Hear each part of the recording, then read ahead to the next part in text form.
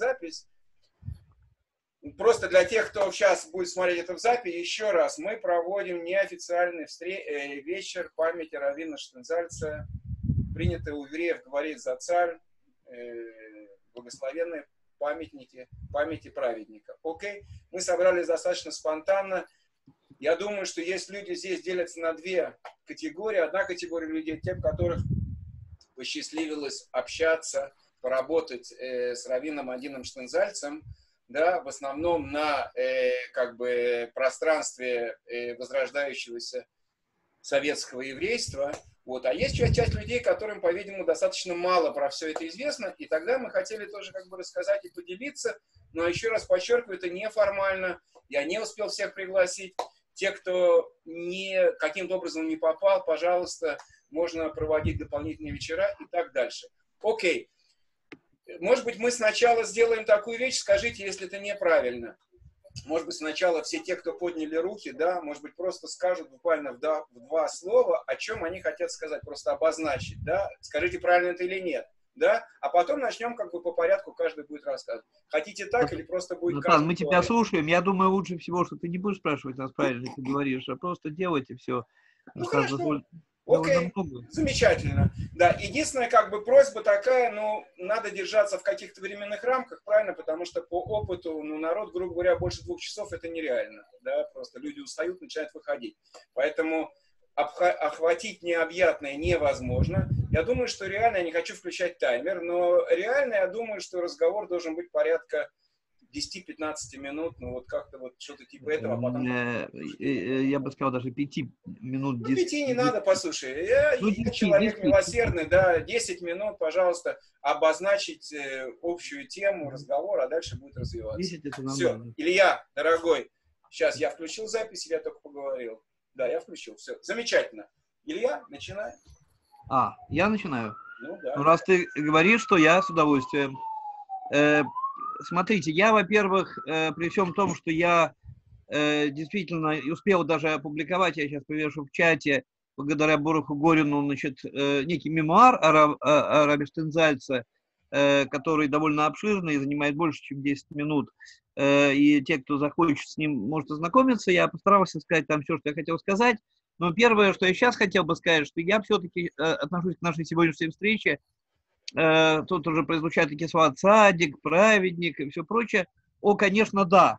Конечно, Рафштейнзальц, безусловно, в моих глазах был и праведник, и цадик, это все так. Но э, в первую очередь мы собрались, потому что умер человек, ушел из этого мира. Это произошло буквально несколько дней назад. И даже когда не праведник, а обычный еврей умирает, то собираются и выражают свой траур. Я э, скорее бы в этом ключе хотел бы говорить. Я не э, э, как бы, ну, все-таки несколько слов я скажу, потому что Рафштейнзайс был человеком очень, я, мне сложно говорить был, просто потому что как-то я так сросся с ним мысленно, что, ну, действительно, что-то очень сильно поменялось, когда он ушел, потому что до этого я всегда знал, что даже, значит, ну, где-то даже я, когда с ним не общаюсь, есть Рафштинзальц, и поэтому, например, говорить о нем, как бы сказать, не очень-то уместно, просто потому что он сам существует и сам про себя может сказать. Последние несколько лет, когда он болел и почти не говорил, э, значит, э, это стало э, проблематично, но мне посчастливилось в этом плане и благодаря Бене Юнину, который здесь присутствует, э, я где-то месяца восемь назад пришел к нему, ну, то есть там нужно было записаться, я пришел, и минут 40 с ним проговорил. И это действительно была встреча и разговор. Я ужасно счастлив, что у меня это получилось. Я не думал, что это прощание, но это так получилось. И он был таким же, хотя, конечно, он был болен, он был таким же Рамштейнзальцем, которого я знал 20 или 30 лет назад. Значит, э, Рамштейнзальц – это совершенно удивительная личность и очень важный для меня человек, хотя потому что вот э, благодаря ему я знаю точно, что иудаизм э, и Тора – это абсолютно живые, реальные вещи. Это не что-то, что было две или три тысячи лет назад, и не то, что, как бы сказать, в мумизированном виде существует где-то в книжных шкафах там и так далее. Можно показать огромную библиотеку, но это еще не будет значить всех этих живых книг, которые там написаны. которые лежат в этой библиотеке. А вот Раф Штейнзайс был явным таким реальным, он для меня не э, ученый Торы даже, а он сама Тора, то есть человек, который ее, живет внутри нее. И мне кажется, это естественное состояние. Я здесь не вижу никакого такого супер, э, э, супер, э, э, как бы сказать, особенного чего-то, потому что так и должно быть. Вот. Но редко так э, явно это происходит. И э, поэтому я не, не стал бы говорить садик там, и так далее. Просто э, очень язвительный, очень острый. Иногда до такой степени, я знаю очень многих людей, которых он сильно обидел э, разными э, способами. И в то же время очень глубокий, э, очень тонкий человек. Вот. Э, я э, э, скажу несколько слов, во-первых, в каком контексте мое общение с ним происходило. Это важно, наверное, для моего к нему отношения. Так получилось, что когда я случайно почти что решил поступить в э, Академию мировых цивилизаций, которая в 1988 году открылась в Москве, которая потом оказалась Ешивой мировых цивилизаций, я туда приехал просто, чтобы познакомиться с некими людьми, про которых я слышал, и остался там. И э, в течение 10 лет так получилось, что он оказался чуть ли единственным вот таким совсем близким, ну или одним из единственных единомышленников. То есть человека, который, э, который хотя он старше меня существенно, но он как бы мне позволял существовать в какой-то степени, легитимизировал все, что я делал. Потому что э, оказалось, что его Тора, это, в общем, несмотря на то, что он пора, мы по-разному все это понимали, это та же Тора, которая моя. И э, э, общались очень много, при том э, в трех э, разных вариантах. Один вариант это когда э, публичные лекции, которые присутствовали много народу, это был один тип общения. Другой тип общения – это было личное общение вот с глазу на глаз. И третий тип общения – это некий великий знаменитый человек, который пишет книги э, и вещает на огромную массу народа. Э, значит, поскольку все это происходило очень близко, все эти три типа, они очень важны, потому что очень важно, чтобы наш голос услышан был. Э, я вот считаю, например, что голос русского еврейства, например, в Израиле не услышан абсолютно. Э, и поэтому какие-то люди, э, э, которые какие-то жуткие вещи говорят и пишут в интернете, и печатают и так далее, говорят от нашего имени. Я там, некоторые политики и так далее, они говорят от нашего имени, а они нас абсолютно не представляют. Вот Раф Штейнзальц, он сумел донести свой голос до широких масс, так сказать.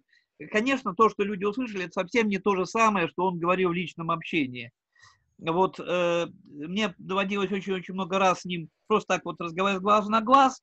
Это было всегда очень тонкое, очень-очень конкретное и довольно язвительное общение, но э, очень интересное.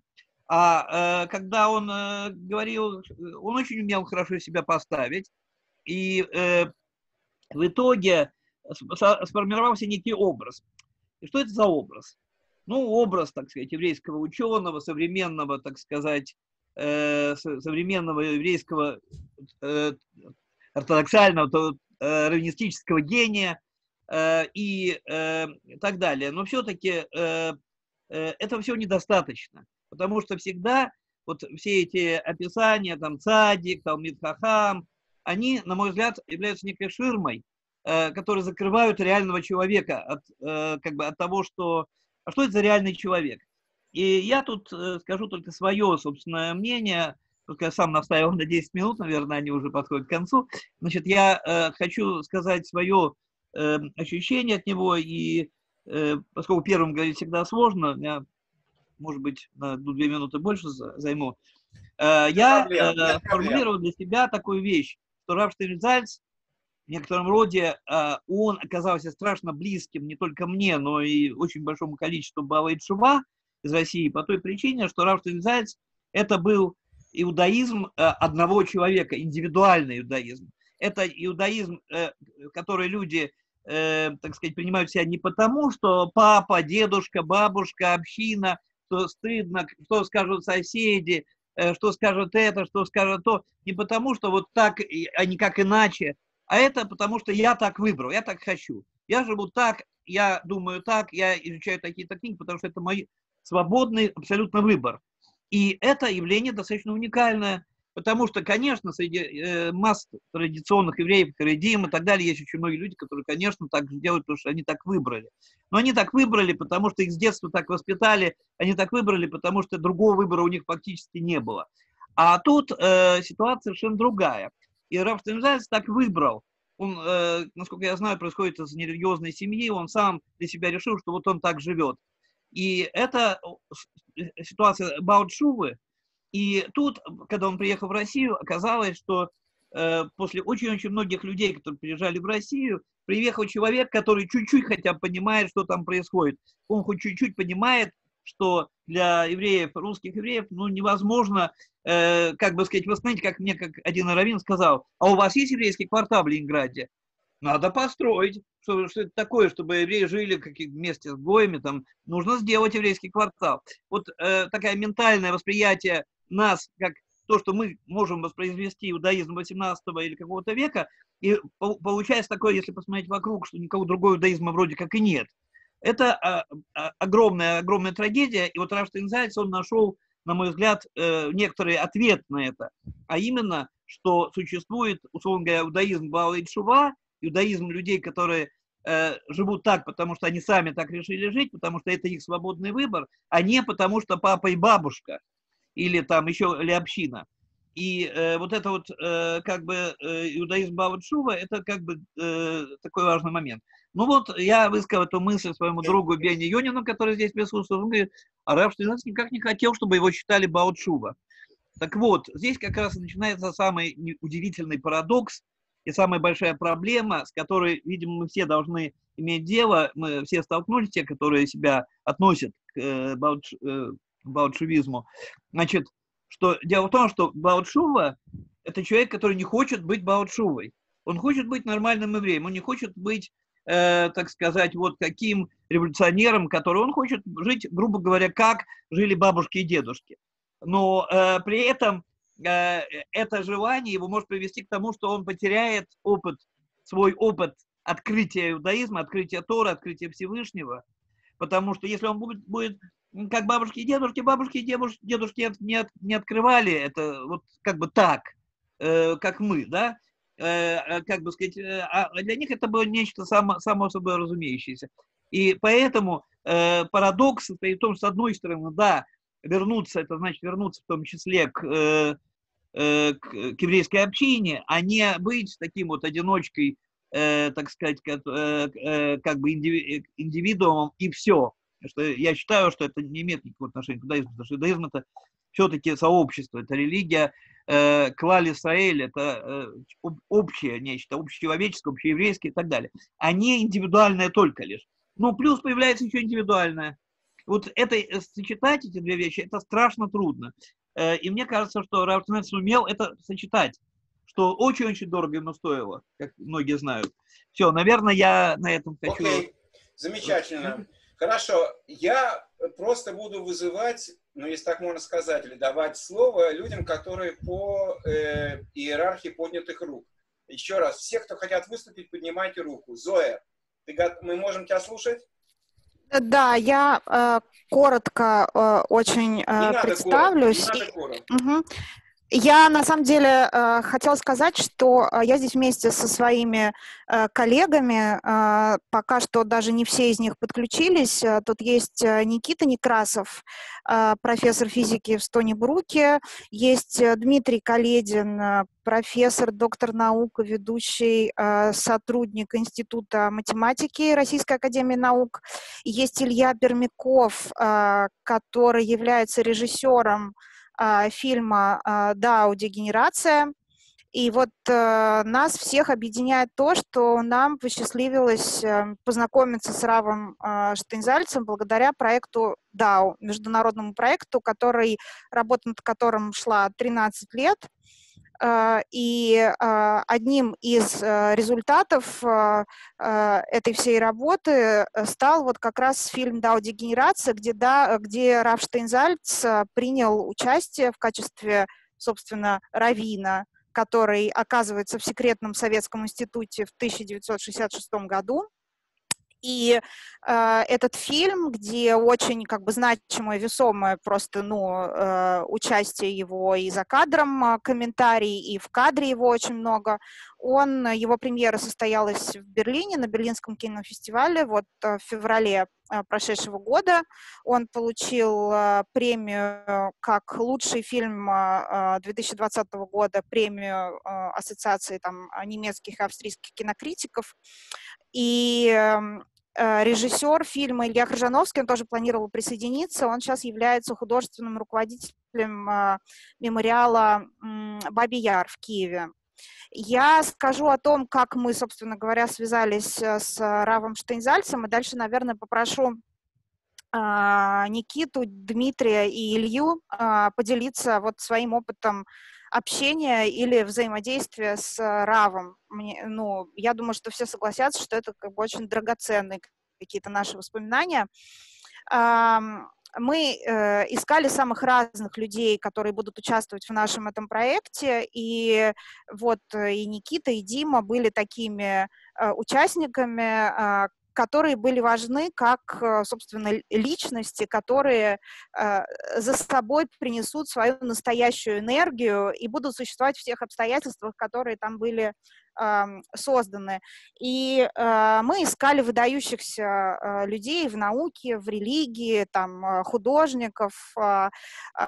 И я делала на эту тему research, и мы, конечно, поняли, что очень хотели бы предложить Раву Штейнзальцу попробовать примерить на себя эти обстоятельства и вступить в взаимодействие вот с этим пространством и с другими участниками. И долго ли, коротко ли, но как раз а, благодаря Натану у меня в распоряжении оказался контакт ассистента, ассистентки Штейнзальца. А, я написала письмо, где рассказала о проекте. Э, проект э, очень необычный с точки зрения там, формата э, кино и так далее. Я как могла представила его, рассказала о том, как все происходит. И эм, ассистентка Штейнзальц ответила мне просто очень быстро. Это, это был один из самых быстрых ответов, которые я получила от э, таких очень крупных, разных выдающихся участников э, проекта. Она ответила очень быстро. Мы очень быстро организовали встречу режиссера Ильи Хржановского с Равом в Иерусалиме, и очень, и просто как бы эта встреча, как бы результатом этой встречи стало согласие э, э, Рава Штейнзальца принять участие в проекте. И после этого э, это уже был вопрос, э, ну, как бы какого-то временного планирования. Летом 2011 года он э, прилетел э, на несколько дней э, со сломанной рукой в гипсе э, из э, Иерусалима в Харьков, и это были очень интенсивные три дня, очень интенсивного э, общения нас всех э, с э, Равом. Э, и, и, и сейчас я, наверное, э, попрошу, э, э, попрошу Диму Каледина, например, начать и рассказать о том, как его общение с Равом выглядело. Но прежде чем я это сделаю, я еще упомяну, что потом в летом 2012 года я уже встречалась, уже съемки закончились, и начался монтажный э, период. Мы монтировали материал в Лондоне. Материала вообще снято 700 часов. То есть сам, самый разный материал, 700 часов на пленку 35 миллиметров. И из этого всего материала получились э, самые разные продукты. Можно посмотреть э, все про это на сайте dao.movie. И я прилетела в Иерусалим и встречалась опять э, с Равом для того, чтобы рассказать ему, что, собственно говоря, происходило на проекте после того, как он уехал.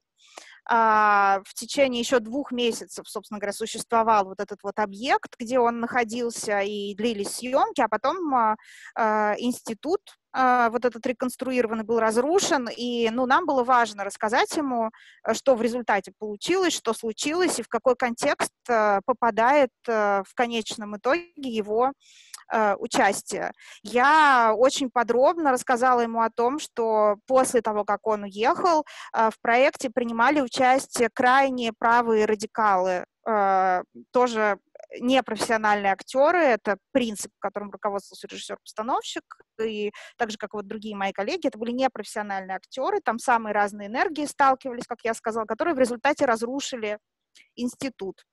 И я очень подробно показывала ему фотографии, рассказывала о том, что эти люди собой представляют в жизни, чем они занимаются. Я очень четко подчеркнула, кто они, и ну, была готова к э, любой реакции со стороны Штейнзальца. Но он э, отреагировал абсолютно с полным э, принятием э, того, что э, я ему рассказала, как, собственно, он реагировал на все, э, как нам показалось, это вот как бы был тип его реакции, взаимоотношений с миром, полное принятие. Он сказал, что он все понимает, что он понимает, что это какой-то мир, который создавался, и в котором разные совершенно участники как бы проявлялись, и что это жизнь, и, в общем, а, вот так мы с ним поговорили.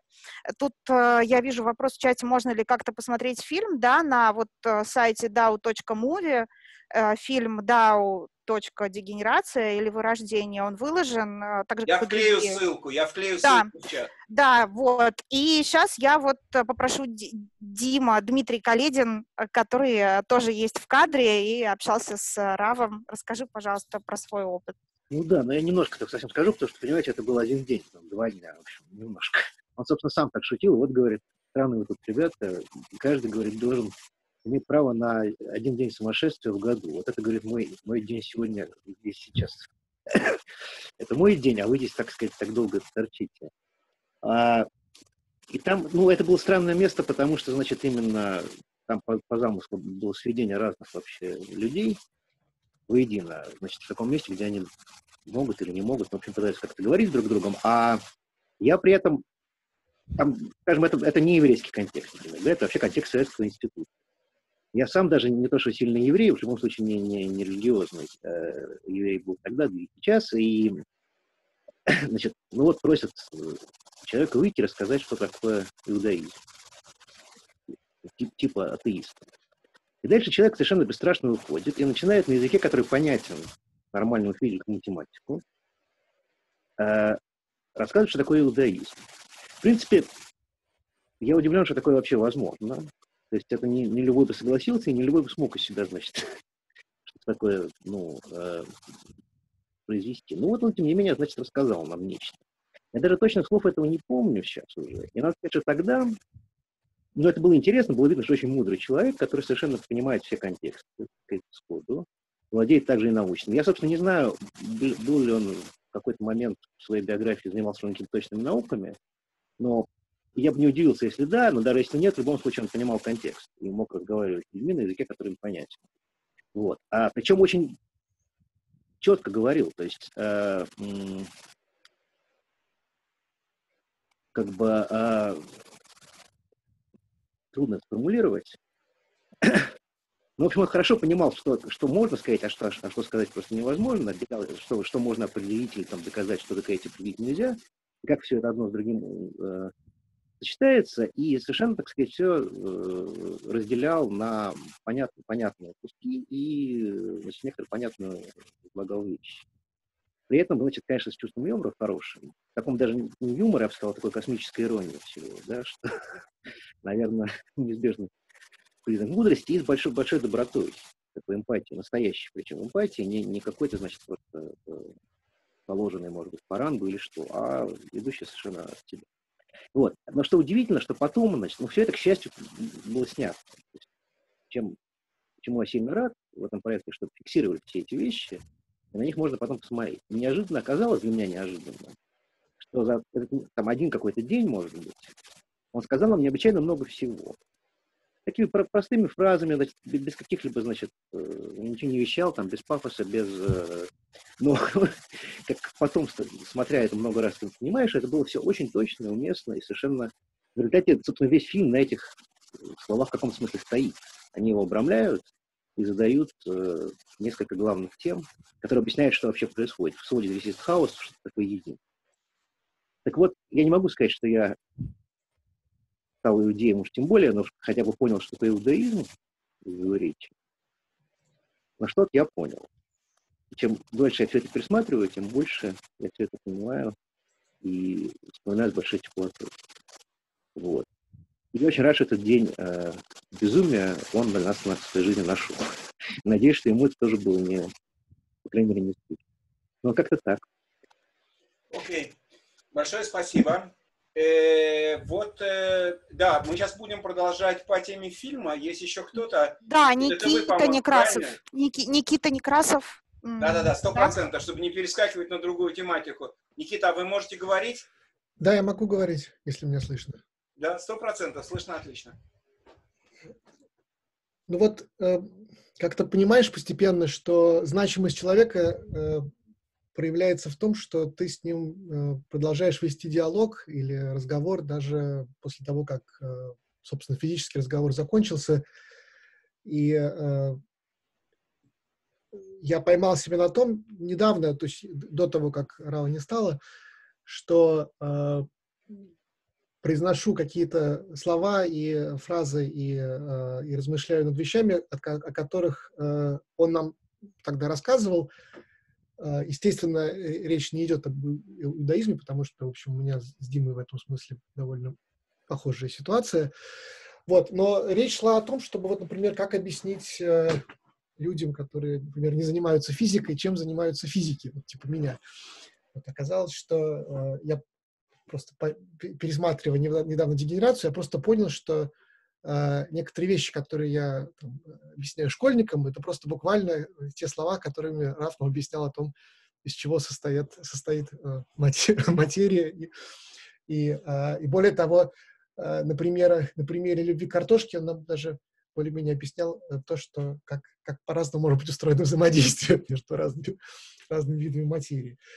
Вот. То есть оказалось, что тот разговор, который э, мне тогда, честно говоря, представлялся не, неудавшимся, то есть для меня, то есть я почему-то ожидал, что э, встреча с э, будет э, вот, какими-то глубокими размышли, рас, рассуждениями о, о природе иудаизма, а, а она оказалась разговором о, о чем-то совершенно другом.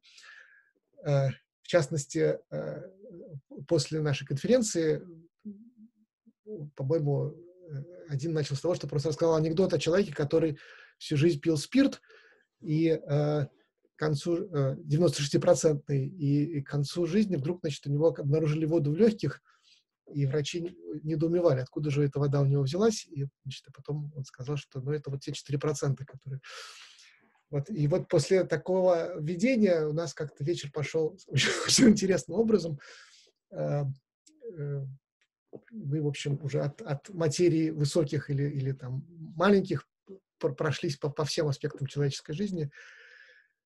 И, э, в общем, это, это осталось, осталось навсегда и, и продолжается, продолжается, ну, по крайней мере, в моей голове продолжает вертеться до сих пор. Я думаю, что передам слово следующему докладчику. Илья, да, и например. Илья, Илья, Илья, Илья Пермяков. Включишь звук? Э, Илья, пожалуйста, мы вас слышим, надо только включить микрофон. Да, да, э, да. я включил, включил микрофон. знаете, я, э, Дима и Никита сказали уже, что во многом этот фильм, ну, один из фильмов этой большой саги стал вообще возможным благодаря тому, что Рафштейнзальц приехал на несколько дней и принял участие в нем. И э, я хотел, знаете, я хотел бы ну, простой жест очень сделать. Я просто с экрана, может быть, сейчас покажу небольшую сцену, в которой он участвовал. Да, замечательно, замечательно. И вы посмотрите на этого человека и вспомните его. Да, очень классно. Вы можете делать шер, нет проблем. А, а ну хорошо, это, окей. Это, это вот так вот будет выглядеть. Э, э, очень так не, не высокотехнологично, но Нет не... проблем. Это лучше, чем share, потому что не будет тормозить. Да-да.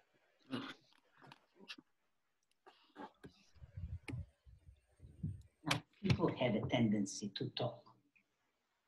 And they have to talk. People have a tendency to talk. And their tendency.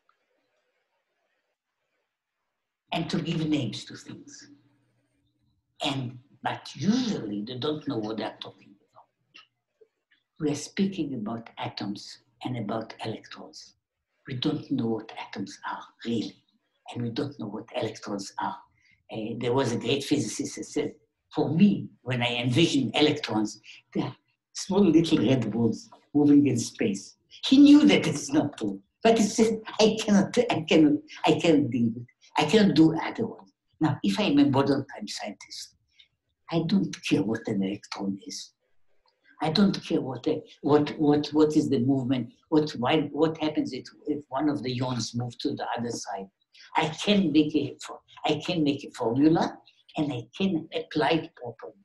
I know how they operate. I understand. Yes. So I've come to a world in which basic notions are no longer important. I'm not saying it's a bad thing. I'm just saying there's a change. It's a change in, in understanding. It's also a change, and that was uh, what I'm writing about, about, about comparing it to other ways of thinking that are also doesn't begin with with with the with the what I call with very well-known pieces of knowledge, but you begin with things that you really don't know what it is. Now, in a certain way, see, do it all the time we speak about God. If you're a theologian, you surely don't know what God is. In one of our holy books, it says, it doesn't sound perhaps nice, it says, no kind of thinking can understand God. Only the inner will of the heart can understand God. And I'll put it in a slightly different way. The question about the existence of God, as much as it has to do with the question about who was the source of all things is in a certain way scientific question. If I say what is the purpose of all things, it becomes a very different question.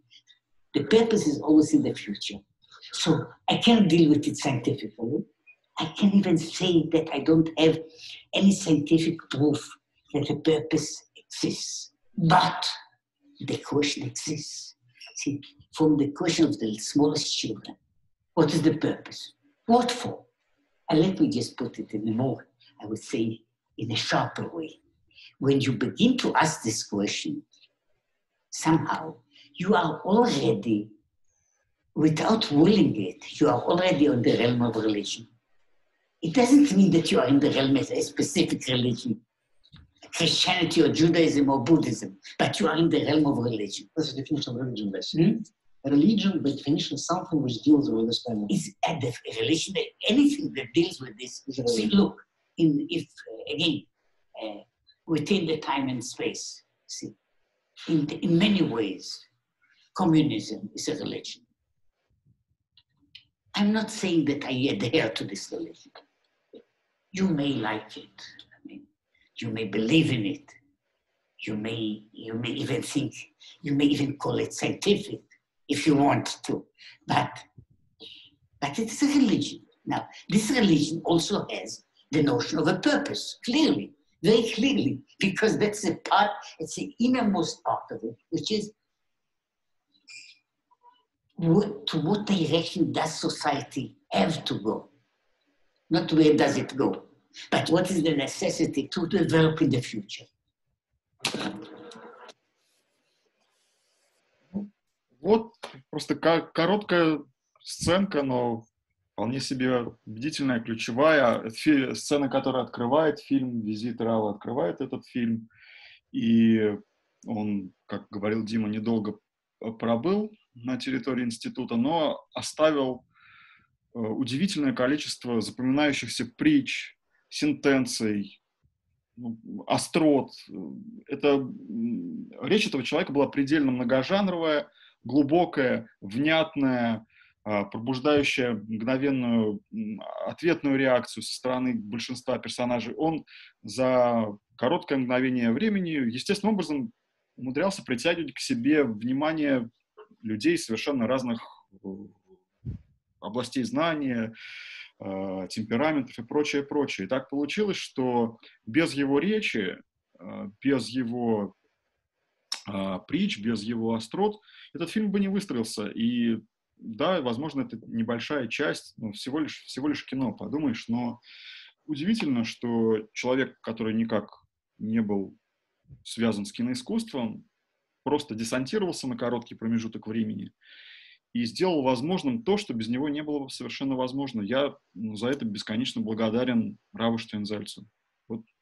И я думаю, что вы видите его на экране, и сразу без слов все понятно. Что это за человек, как он разговаривал, какой свет он нес своим присутствием и среди людей, и просто в кадре. Это все видно, и я счастлив, что это осталось. Спасибо вам большое. Окей, okay, потряс. Нет слов просто потряс. Видеть Штензарц, как он говорит, не знаю, у меня вообще мурашки были. То, ну, хорошо. Окей. Э, Йона Шнайдер, дорогой, ты хочешь нам сказать? Йона, включи микрофон, please. Йона, у тебя включен микрофон. Если ты будешь говорить, мы тебя будем слышать. Да, я буду говорить. Я постараюсь недолго. Нет проблем. Возьми время, сколько тебе надо.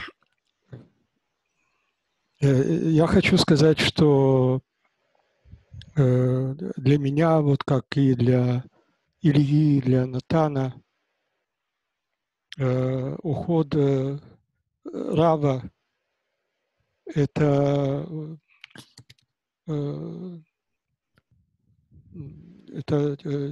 тяжелое, тяжелое время. И Э, у меня очень много э, в жизни э, было связано с, с, с Равином. В конце 80-х годов я учился у Ильи в, Питере, а потом переехал в Израиль и поступил на работу в институт Штензальса и проработал там 20 лет.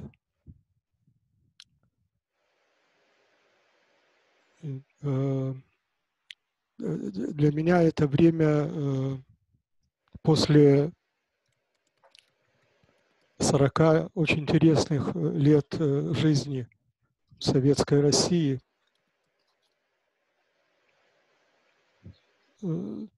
Это был, конечно, все было очень, очень странно и необычно.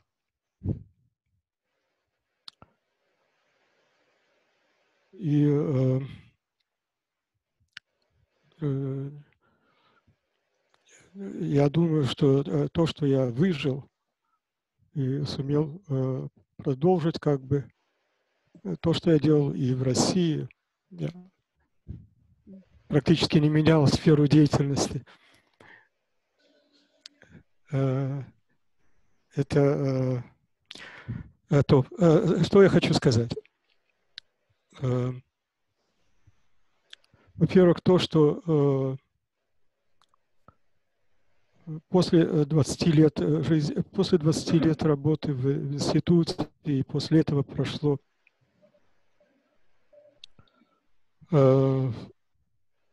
прошли еще годы только в последнее время я начал немножко понимать то, что говорил Раф Штейнзальц. Я начал читать его книги.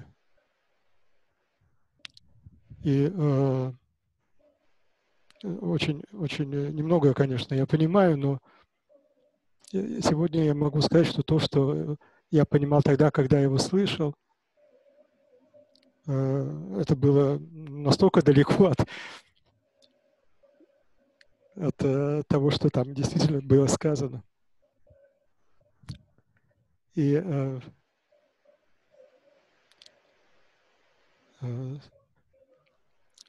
я начинаю понимать, э, какие задачи ставил передо мной и перед всеми нами Равин,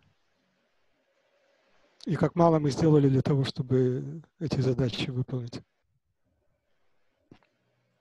Но мы старались. Надо сказать, что э, никогда он не ругал нас. Но однажды он сказал, что э, ты еще не дорос до того, чтобы я тебя ругал.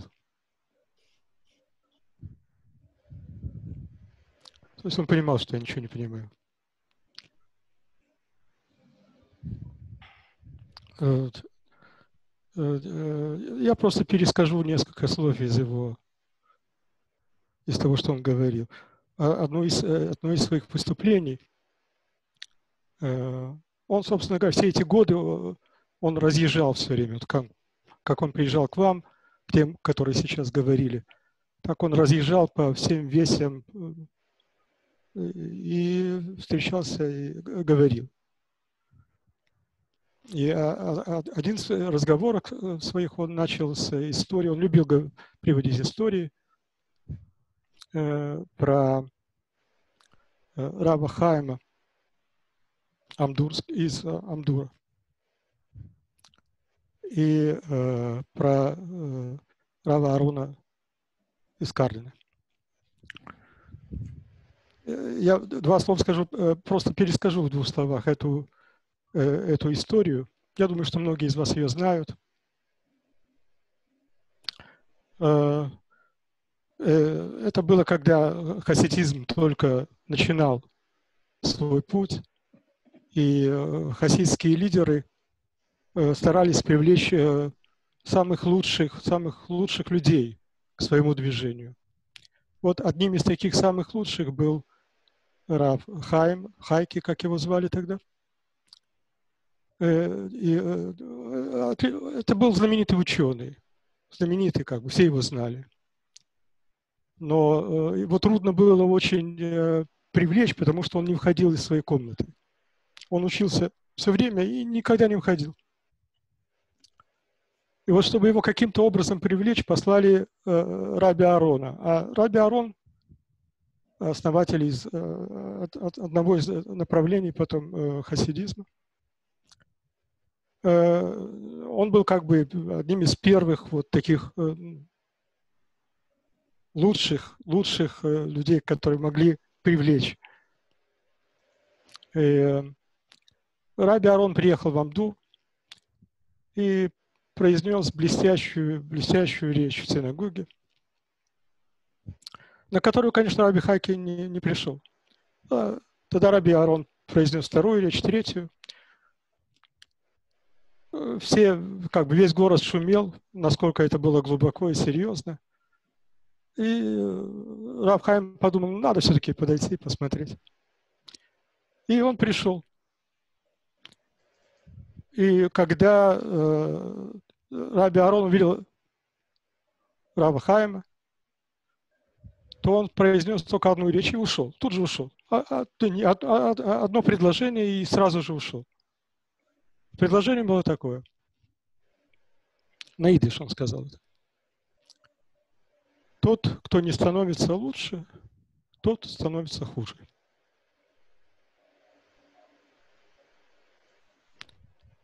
И ушел, и уехал. Сразу же уехал из города. Э, Рафхайм, который еще достиг всего в науке, Э, то есть никто не оспаривал его глубину знаний и преданности. Все. Он стал думать над этой фразой и в конце концов стал хасидом и, в общем, действительно э, стал двигаться. Э, когда Рафштейн это все рассказал, он сказал, я должен был бы сейчас – повернуться и уйти, собрать вещи и уехать из вашего города. Но я этого не сделал, сказал Рафштинзальц. И еще где-то минут 40 он говорил всякие разные истории, переводил все это на, на, на более понятный для, для нас язык. Э, э, какой-то из других своих, э, в каком-то из других своих выступлений вообще он очень тепло относился к русским евреям.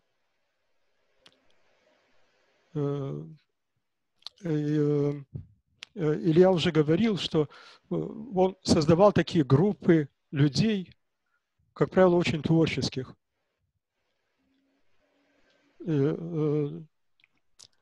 давал им возможность э, делать то, что они хотят. Например, когда он приезжал в город, то он всегда спрашивал, о чем мне говорить. он не приезжал с готовым выступлением, он спрашивал нас, ну вот что вы думаете, о чем мне говорить? Всегда ему нужно было говорить тему выступления. Э, он делал для того, чтобы быть понятным. Так вот, в одном из своих выступлений, потом, через годы, он, он сказал, мне казалось, что я приеду, и вот как спичка, я поднесу спичку, и все загорится. Когда он это говорил, то э, вот этого пламени не было. Были какие-то отдельные очаги огня, но вот того пламени, о котором он думал, наверное, не было. Э, то, э, все, Натан. Окей. Okay. Э, если можно, да, Бенни, я вижу твою руку. Продолжая тему э, Йона Шнайдер, я хотел бы просто, на самом деле, у нас как вот этой части сейчас не было, я хочу вам, честно говоря, пролистать. Секунду. Вот я сделал шер, вы видите, да? А, сейчас, секунду, да. Все эти, они, к сожалению, фотографии маленькие. Дико извиняюсь, я не успел подготовить. Я вообще весь архив передал уже в институт Штензальца. Не знаю, это то, что у меня было на сайте, но неважно. Идея какая, просто как бы в одну фразу. Я работал там же, где Йона Шнайдер, да, то есть это мои 13 лет в Израиле. 13 лет просто это огромная часть. Вот, совершенно замечающее, замечательное, потрясающее время было. Окей, я, в отличие от э, Йоны Шнайдера и многих других, Ильи Дворкина, моя как бы должность такая, это обычно саппорт, помощь, поддержка, то все пятое, десятое. Окей?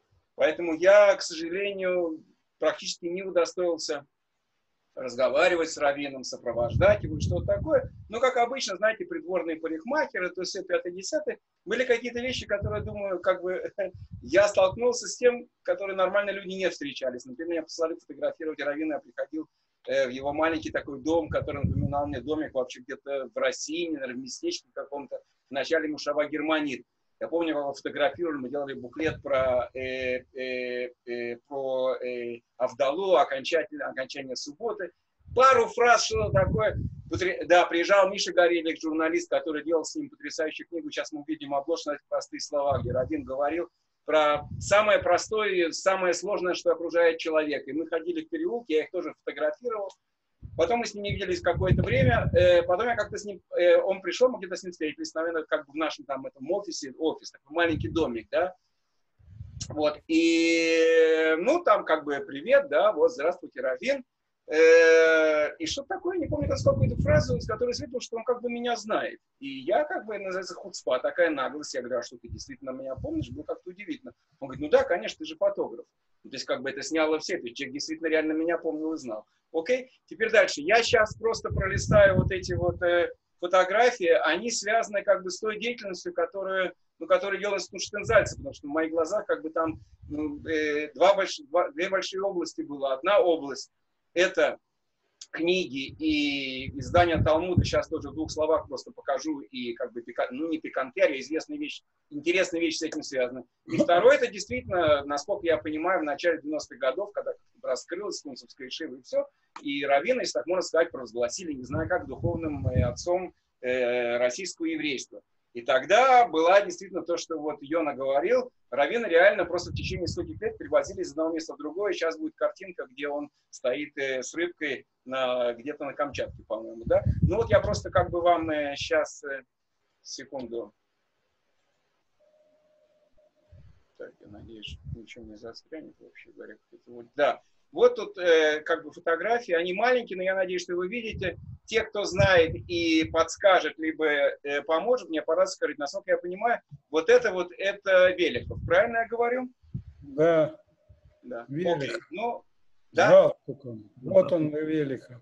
Велихов, да. Вот этого человека я не знаю, кто это. Это тоже какой-то... А есть очень большая статья, беседа Штензальца с Велиховым. Да, есть. да, да. Окей. И вот я хотел вас спросить. Я вообще читал эту статью, но я понял, что он вообще был не хасид, Стензальц. Сейчас, секунду. Знаете, что, Борис, это, это большой очень вопрос. Я думаю, это Илье, это группа, которую он организовал. Сейчас я только закончу как бы свои личные воспоминания, потому если останется время, мы будем... Ну, вы же можете сказать, был он хасидом или нет.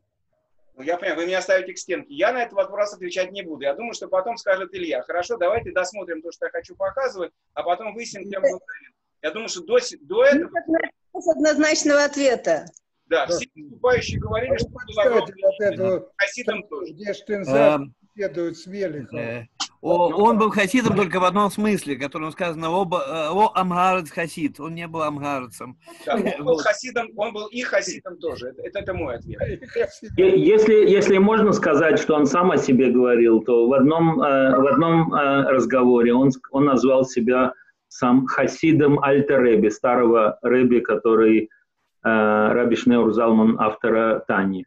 Он, безусловно, имел отношение к хасидуту безусловно, и безусловно имел отношение к, к Хабаду. Он, конечно, был человек не, неординарный и нетривиальный. Окей.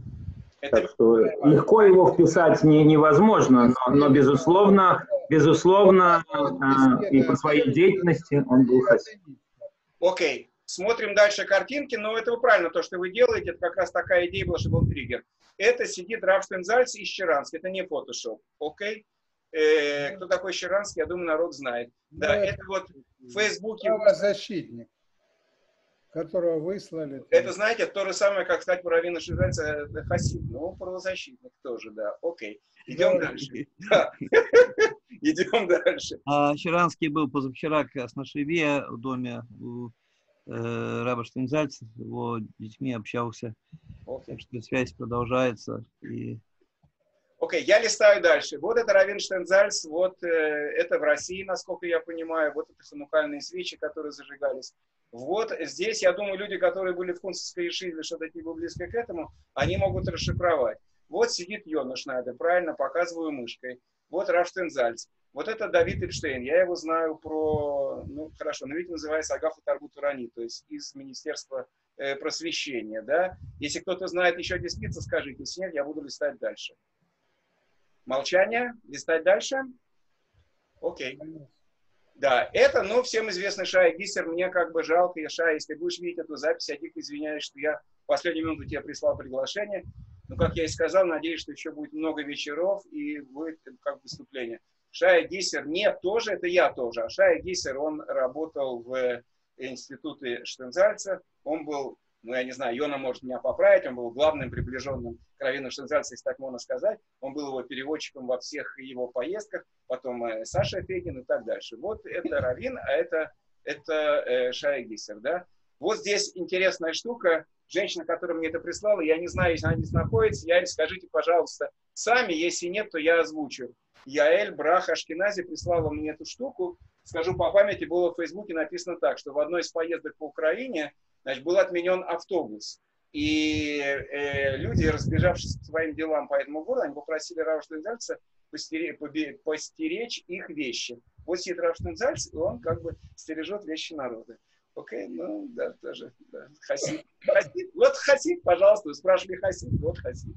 Окей, вот это тоже маленькая фотография, даже большая. Йона мог бы сказать гораздо больше про меня. Была целая сеть научных таких вот заведений, вот этих вот искр, из которых должна была разгореться пламя.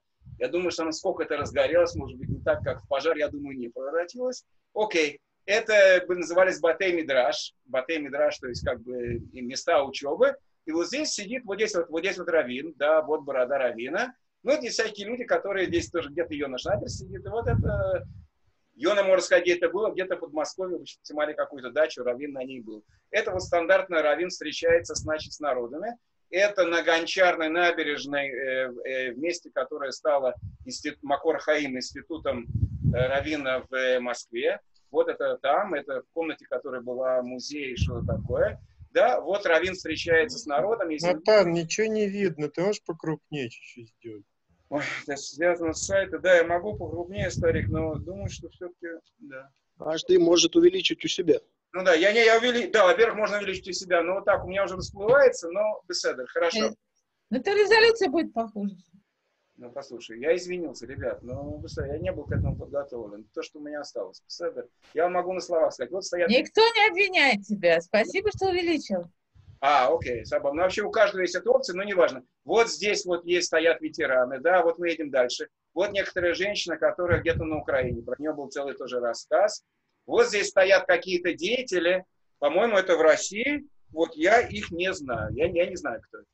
Я не, кто-то скажет, пускай, пускай как бы скажет. Вот тут сидит тоже человек. Вот это кто-то, я, я могу соврать. Это, по-моему, это Аверинцев, но я могу ошибиться. Кто-то хочет меня поправить или э, сказать... Не ошибаешься, не ошибаешься, Натан, это, это точно Аверинцев. Точно Аверинцев. А вот да, вот все, окей, собака, значит, я помню. Да, вот здесь какой-то фандрейзинг или что-то такое. Кто-то сидят, какие-то важные чины э, еврейские того времени, Э, ну, не знаю, ладно, окей, здесь написано 28 женщин, один раввин обсуждает книгу Бриши. Окей? Ну, тоже вообще прими, примечательно, да? Ну, вот если есть женщины, как, да, вот это Шая Гисер, вот. А, да, Равина здесь нет слегка. да, Равин это Шая Гисер. Ну, не важно. Да, вот знаменитая фотография, это Равин стоит с рыбкой. По-моему, это рыбка, это на Камчатке. Окей? Хасид с рыбкой, можете сказать. Да, ну вот тут тоже всякие встречи, а тут пролистывают, тут какой-то, да, еще какие-то люди. Вот это вот в Кунцево, да? Вот те, кто были в Кунцево, могут сказать, этого человека я знаю, да, это Дима Сафронов, последние годы мы не общались. Он тоже работал в институте Штензальца, переводил, замечательный парень, по-моему, он живет в Германии. Вот Равин Штензальц, вот так как бы я его... Да, вот тот Равин Штензальц, который тех времен. Вот э, это уже как бы да, вот стоит э, Дуди Палан, который был директором, вот стоит Несsia Наташа Фернан Слободяник. Вот что-то такое, был специальный торт, не знаю, ресторан Прага, что-то такое организовывали. Это уже в то время, когда в Москве организовывали всякие эти самые. Да, а это вот, да, вы можете сказать, кто это, правильно? Я подзабыл. Кто это? Э, Алло. Шаевич, что ли? Вот мне тоже кажется Шаевич, да, мне тоже кажется Шаевич. Да, это была, там рядом, да, это была презентация Талмуда да, вот есть такие нежелательные персонажи, которые э, появляются в архиве, но мы стирать не будем. Это наш президент Кацав, который вообще в тюрьме потом сидел, да, в отличие от присутствующих. Но, как бы... Да ладно, что сказать. Не-не, все дорогоморно. Президент как президент. Он в то время был президентом, да, он не сидел в тюрьме, у нас это быстро может быть президентом, а в тюрьме мы сразу... Он уже отсидел что-то. Ну, он сидел, да, нет, я вообще не против, да, окей. И вот он от имени государства Израиля, значит, такое поздравлял. Э, идем дальше. Да, вот это Велихов, правильно? Это на том же Велихов. Вот они чокаются, пьют э, вино, что-то такое, да? Но это вы знаете, да, тут говорить не надо. Люди, которые из России нет, это Берлазар, правильно? Окей. Это Дуди Палант. Вот это очень давно, то есть буквально сколько-то последние годы, я совершенно не пересекаюсь, не знаю, надеюсь, что жив-здоров, Хайм Аарон Фингенбаум, правильно, который был руководителем. Ну, год назад, по крайней мере, он был, слава богу, жив-здоров в Москве. Сейчас Будем надеяться, что это продолжается, который был э, как бы директором Макор Хаим э, в, э, в Москве. Мне кажется, что ты путаешь, котик. У него две такси, одно маленькое, другое большое. Я выключил Мишу, потому что там идут какие-то звуки, по-моему, это, это не к нам. Так, у меня... А, да, сейчас, полсекунды, секунды, секунды, секунды, секунды, секунды, секунды, секунда, секунда, одна, одна секунда. Сейчас, потому что я переключился. Окей, да, ну вот тоже это Равин с кем-то где-то на каких-то. Вот это тот Равин Штензальц, который, я думаю, помню я в мое время, и также остальные. Вот это тоже Равин. Это Равин гораздо раньше, это, по-моему, начало Кунцевской Ешивы. Да? Скажите, да, нет, потому что я говорю в пустое пространство. Вы же там учились, Шлома. Ну, по-моему, это Равин как бы в Кунцево, вот снега и все такое. Да, похоже. Равин-то это Равин. А насчет Ну что, а кто ну, не... Снег в России много, если я не могу. По-моему, это Кунцево. Ну, похоже, похоже. Это Кунцево. Я думаю, что... Вот это. Вот Хаймар. Э, э, это точно Кунцево. Ну, правильно, это Давид Палант и все такое. Да, вот это, вот эта деятельность Йона Шнайдера, вот раздают народу книги, э, которые, это, кстати, в Израиле. Это в Израиле. Вот этот народ, который встречается, вот Равин, да. Равин стандартно, может меня поправить, как бы, э, насколько я видел все выступления Равина, он подходил к столу, садился на него, лицом к публике и как бы разговаривал. Ну, по-видимому, чисто хасидский подход как бы располагает э, к общению пятое, десятое. Я как бы с юмором, но окей. Это как бы книжки. Вот какой-то ветеран, до которого тоже искры долетели, да. Вот та же самая женщина, вот народ с этими книгами. Да, вот одна из первых хуб. Вот у нас есть э, Дима Давид Капелевич, который нам расскажет про то, как Рави Штензаль ставил ему хупу. Дима, не кивай головой, ты да будешь рассказывать. Вот это одна из первых э, хуп э, в, в России. Вот, счастливый молодой человек. Прошло лет 20, надеюсь, что их брак оказался прочным и дал какие-то ростки. Да, вот ему делали хупу, вот Равин Штензальц. Вот это стандартно, это да-да-да. У нас было два домика. Один домик это был Равина домик, а второй домик это был там, где было русское отделение. Вот это, по-моему, в домике, э, который был у Равина, вот как бы это его. Это какой-то съезд э, международный. К сожалению, я не нашел фотографии. Была потрясающая фотография. Э, в ООН был съезд всех, э, всех, всех раввинов. Это по, по Кавке. Не всех раввинов, а всех религий. Вот. И были совершенно люди, и буддисты, и все, и пятое, и десятое. Среди них стоял скромный раб. Рядом с ним стоял человек с такой повязкой. Мне сегодня Шлома объяснил, что это сики или кто-то, кто не ест насекомых. Они определили человеческое счастье. Говорят, все с этими ходят. Рядом с ним стояла вот потрясающая фотография. Там, наверное, я не знаю, человек 100, наверное, стояло. Представить, вот, пожалуйста, да, вот с этим это тоже на эту тему будет сказано два слова. Да, вот, пожалуйста, это может быть как раз как раз на тему той фотографии. Вот что такое буддисты. Это уже не буддисты, это наши люди сидят. Да, это то же самое э, встреча с народом, вот, но уже не зимой, а летом, да. Окей, теперь на одной ноге просто книжкам, которые выпускались. Вот знаменитый, я говорю знаменитый, да, Вавилонский Талмуд, издание Штензальца. Я не знаю, по-моему, Ури Гершович так и не, и не успел э, присоединиться, что очень жалко, если он здесь, я его не вижу среди 70 плюс человек. Пожалуйста, скажи, если ты здесь, я передам тебе слово, чтобы ты сказал пару слов. Да, по-видимому, Ури не присоединился. Окей, тогда я говорю то, что я знаю.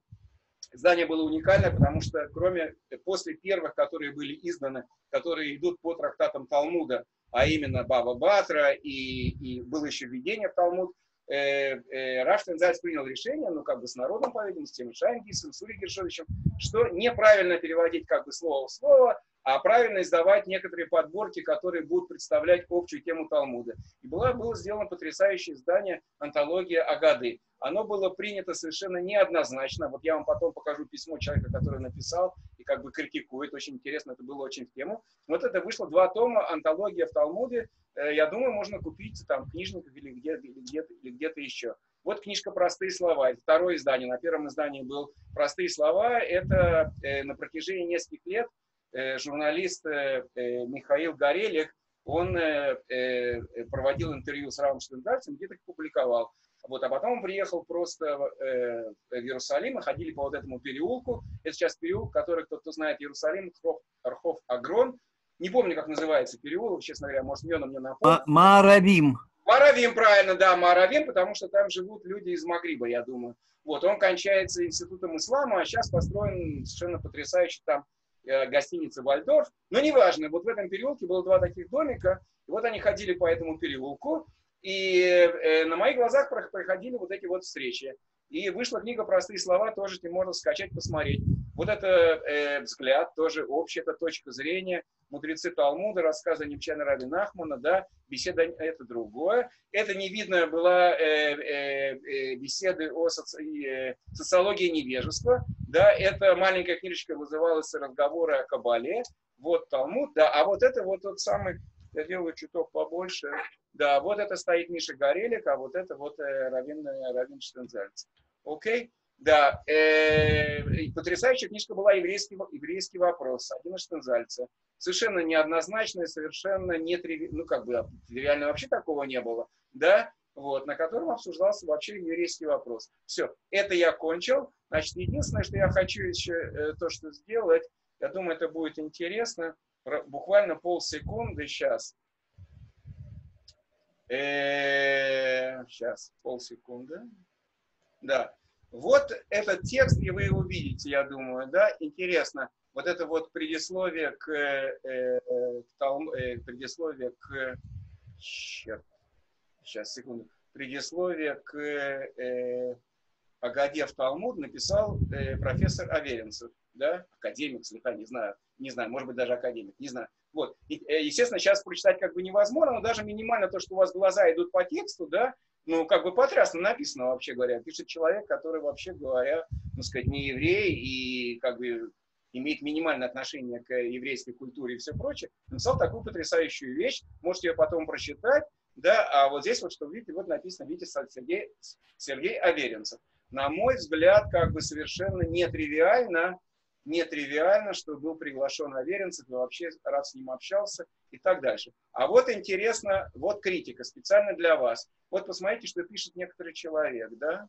Вот, человек пишет, человек пишет, э, также, если вы не видите, я могу прочитать, также, он пишет критику, да? Также замечательно, что для общей редакции в случае изучения иудаизма не нашлось более человека, более близкого к еврейской традиции, чем православный христианин Аверинцев.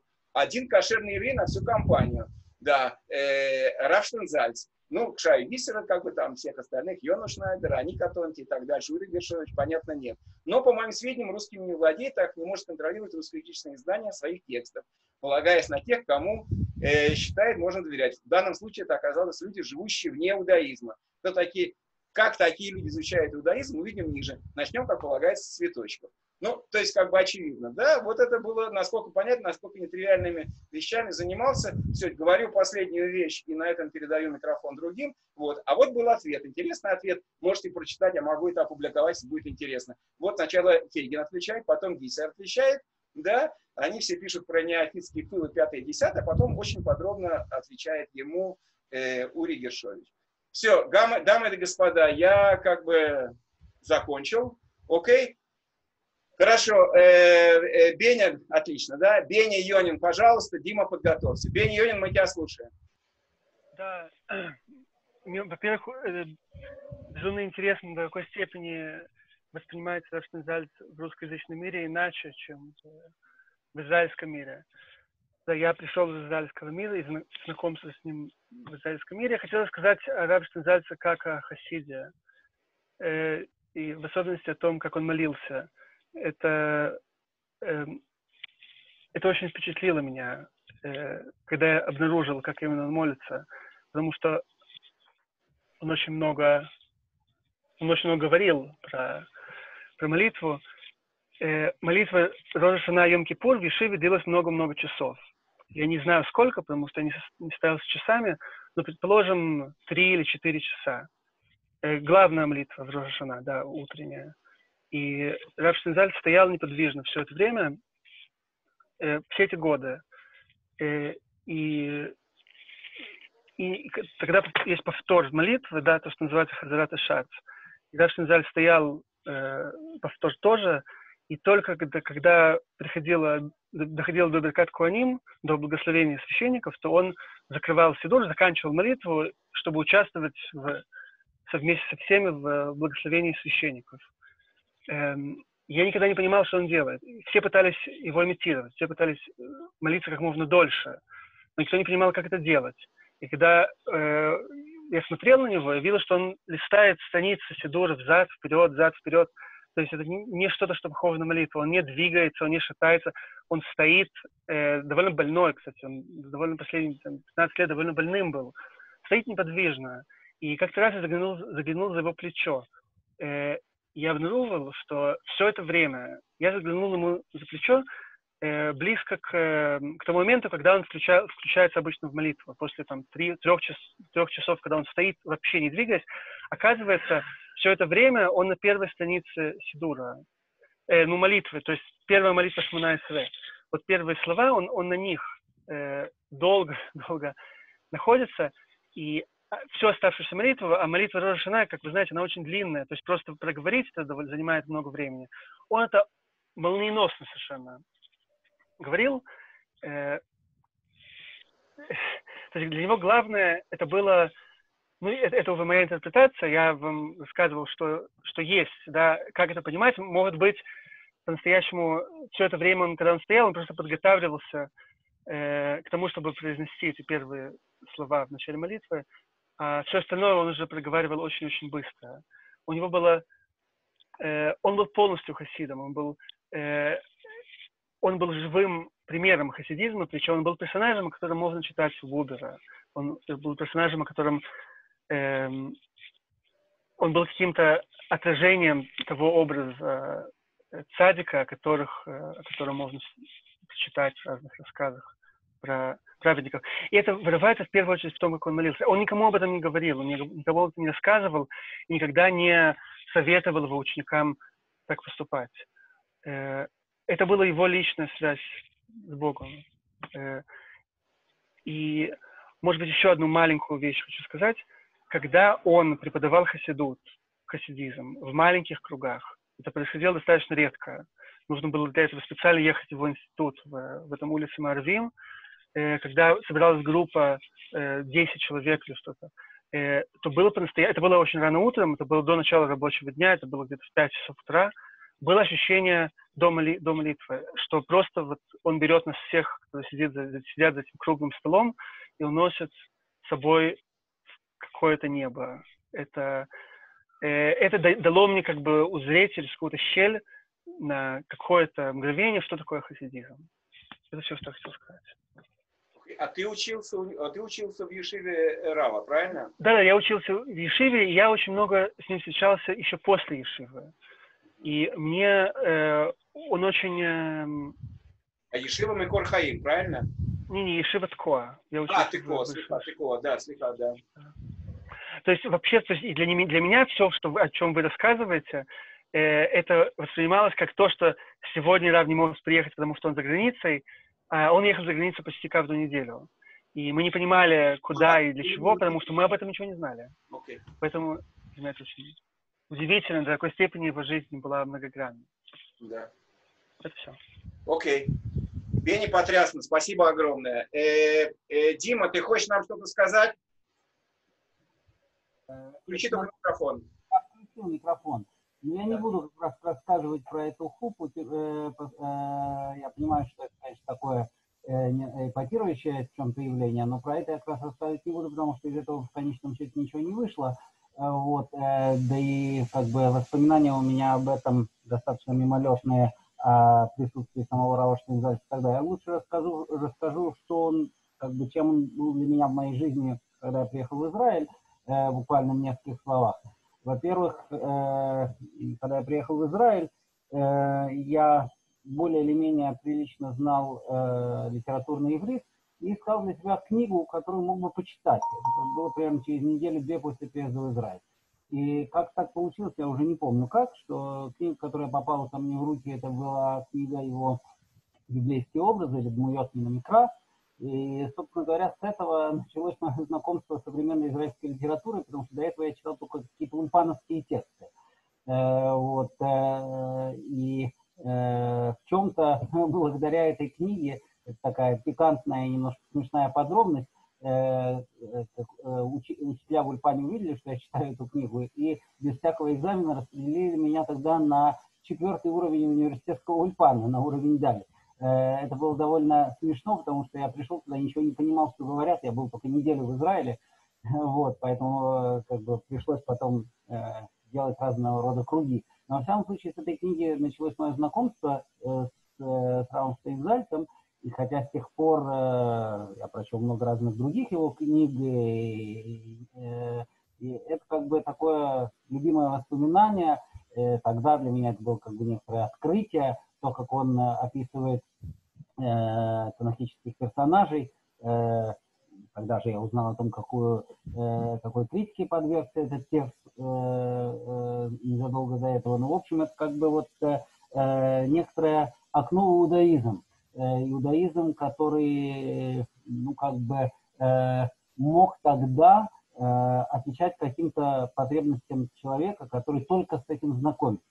Вот. Э, э, э, также точно, также точно я думаю, что для многих русскоязычных людей, которые начинали учить Талмуд, вот это издание Талмуда Штейнзальца играло ключевую, ключевую роль, хотя, опять же, с тех пор я как бы вполне способен э, читать э, другие издания Талмуда, э, в том числе и Вильнинское издание, но как бы вот эта память э, той помощи, которую это издание оказывает, э, оказывало мне когда-то, оно как бы наполняет э, э, душу благодарностью.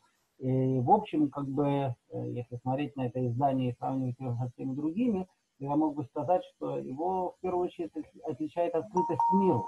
Это издание, которое открыто всему миру. И оно так построено, что оно может действительно говорить любо, э, как бы, э, ответить на потребности любого человека, который только сейчас начинает учить Талмуд, для которого это совершенно чужой мир, а вот вдруг оказывается, что он в состоянии э, для себя как-то найти какие-то точки соприкосновения с этим миром. Это, наверное, то, что вообще отличало Рава Штейнзальца. Э, э, абсолютная открытость миру.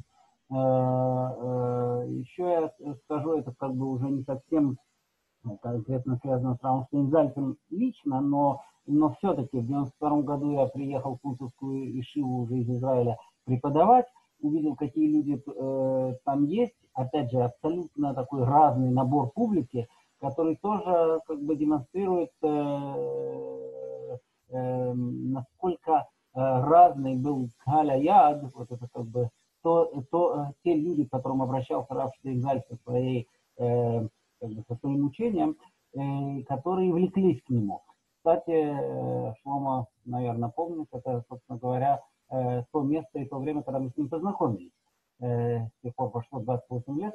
Вот, ну и закончу я такой немножко пикантной подробностью. Опять же, поскольку я очень любил книгу «Библейские образы», я использовал ее в преподавании в университете Барлан э, для русскоязычных студентов, где мы, опять же, я и Шлома вместе э, в этом проекте участвовали и, и э, использовался русский перевод этой книги. А там э, значит, есть такая статья, которая называется «Сара Саратница». Э, на иврите это звучит «Сара Бадзугасошель Авраам», гораздо более нейтрально. Но для российского уха такое, э, такое определение, оно как бы неизбежно создает некоторую анекдотическую ситуацию. И вот я открываю один раз э, э, экзамен, который написал мне какой-то остроумный студент. И он, э, как бы, э, там был вопрос, связанный с Авраамом и Сарой. И он э, соотнесся с этой статьей и написал такую вещь, значит, вот там объяснял то, что пишет Рафштейнзаль, написал Сара в скобках Н как да, или Фавдалот, но вот это как бы Сара Саратница, да, значит, общее дело – Э, это как бы те ассоциации, которые это вызвало у русскоязычного студента здесь, э, живущего в Израиле. Вот. Но, в общем, заканчивая все эти сумбурные воспоминания, я просто, опять же, э, хочу подчеркнуть, что, на мой взгляд, как бы роль, которую Рав Адельштейзаль сыграл в становлении современного израильского общества, она прежде всего роль, которая, наверное, нуждается израильское общество сегодня как никогда. Роль соединительная, объединительная. То есть это был человек, который, э, э, ну, в чем-то, наверное, после Рава Кука, он второй такой, который мог говорить со всеми на их языке и не пытался э, в, э, в том, кем он разговаривал, увидеть э, соперника, противника, врага, а наоборот, это был диалог на равных, в чем-то тот диалог, который, к которому призывал в свое время Мартин Губер в своей книге «Я и ты». Ну вот, собственно, и все. Окей. Okay. Дим, спасибо огромное. Э, по-моему, был, про, промелькнул э, Иглом. Э, Минахим Иглом. А присутствуешь ли ты среди нас? Присутствую. Замечательно. А ты хочешь нам что-то сказать? Э, я на самом деле э, не очень хотел говорить, но, наверное, все расскажу. Э, у меня с Равом были очень специальные отношения. Он, к сожалению, э, один, а может быть, самый важный из моих несостоявшихся учителей. Вот есть такая э, заповедь, не заповедь, очень важное правило, которое сформулировано за Внешнего, вот, сделай себе учителя. Да, к сожалению, всю жизнь с этим как-то получается плохо, и э, э, Раф Тринзельс был, э, наверное, самым большим моим правом. Э, я действительно был очень, очень с ним подружился с его э, первого приезда в Москву, с открытия Ешивы, которая еще была не Кунцево, а частной квартире на профсоюзной улице, метро профсоюзная. Э, и э, дальше первое наверное, года два в Израиле. Проработал в его институте и при этом ходил э, на большинство его уроков, в основном домашних, потому что самые интересные уроки устраивались вовсе даже не в институте, а в домах у его учеников. А также э, устраивал там какие-то регулярные встречи с нашими русскоязычными друзьями в Роте.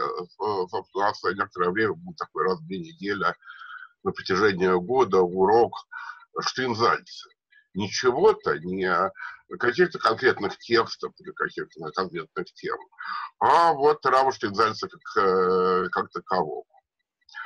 А, а, к сожалению, все это закончилось некоторой неудачей. Я действительно не смог стать его учеником, это было очень большим ударом э, для меня, и я так понимаю, что немалым огорчением для него.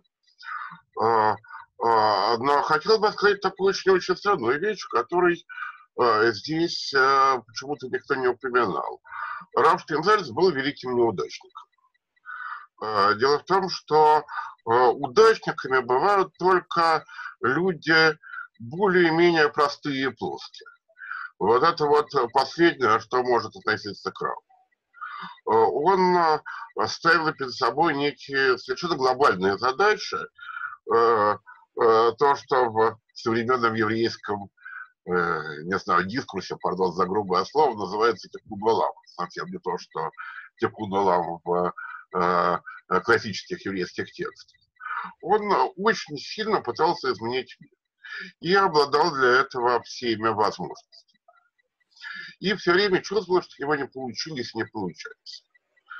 А, он действительно пытался изменить израильское общество прежде всего. А, несмотря на свои а, там русско-польские корни, он урожденец кибуца. И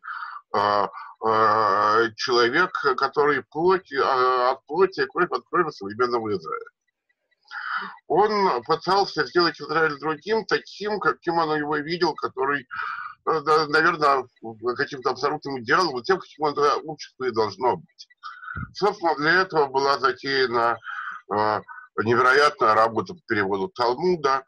Э, это он, в общем, сам вполне говорил, что цель создаваемых ешив и учебных проектов Э, он пытался, вот есть в Израиле э, особо обострившееся в последнее время противостояние между евреями и израильтянами. Особо обострившееся, на самом деле, совсем правильно. На этом просто Израиль был построен, и только последние десятилетия, или, может быть, пару десятилетий, об этом стали громко говорить.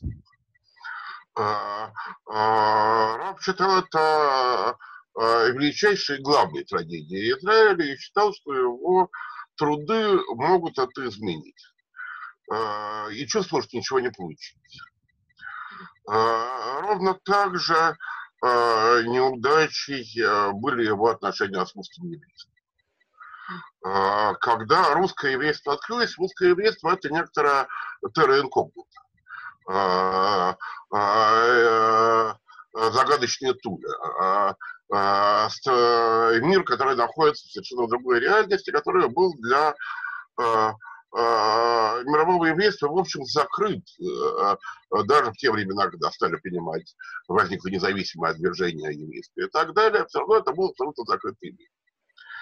И вот Раб считал, что этот э, мир обладает тем потенциалом, которому так не хватает Израилю и еврейскому миру в целом. А, именно способностью, с одной стороны, э, поглядеть на мир Тура свежим взглядом, э, э, абсолютно свежим в результате 70-летней оторванности от него, и найти мосты между еврейством и современной культурой, наверное, все же, не цивилизацией вот э, той, той культуры, которая возникла в ушедшей Европе XIX века и превратилась в западную культуру века XX. А, а, он действительно рассчитывал на то, что а, русские евреи, как только они вольются в еврейский мир, смогут это осуществить, оживить иудаизм в целом Э, и наладить действительно полноценный даже не диалог, а сотворчество, э, диалог в самом высоком э, смысле, между еврейским и общечеловеческим. И это была задача изначально обречена на провал, так же, как первая. И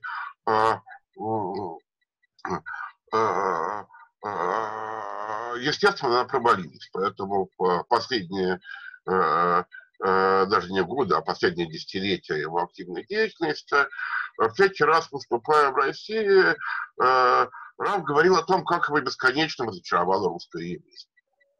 И, в общем, это действительно так. На самом деле, то же самое происходило с его учениками. Для меня не сложившееся ученичество – это личная трагедия, и трагедия, деле, весьма немалая. Но я знаком с э, немалым числом его учеников намного более близких, э, не русских. Э, э, глав э, его ишиб, э, э, раввинов, ученых, которые э, действительно были его близкими учениками. Э, о ощущение несложившегося ученичества есть практически у всех, на самом деле. Все в той или иной степени, все, с кем мне довелось об этом говорить, в какой-то степени а, а, об этом говорят, так или иначе. И вот где ты находишь его слабость, ты находишь его величие.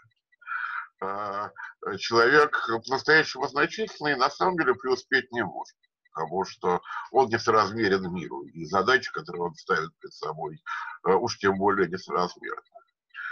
Э, Раф Тринзель в какой-то степени это воплощение э, этих недости... невыполненных задач, недостигнутых целей, о последнем разговоре, который у нас был уже тоже довольно давно, лет 10 назад, он, собственно, прямо больше 10, наверное, он тоже прямо говорил о том, что, него, что он чувствует, что у него ничего не вышло. И вот э, только такой человек может действительно изменить мир к лучшему. Э, и на самом деле сейчас как-то особенно чувствуется, что у Рава это получилось.